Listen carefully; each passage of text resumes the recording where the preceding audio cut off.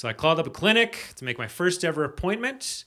The receptionist asked if I want to, wanted to speak to a male or female therapist.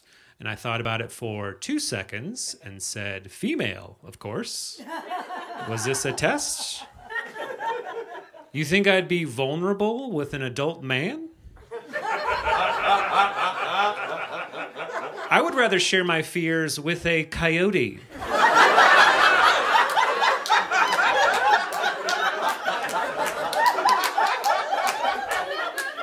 I don't think you understand. My inability to talk to other men is the reason I need therapy.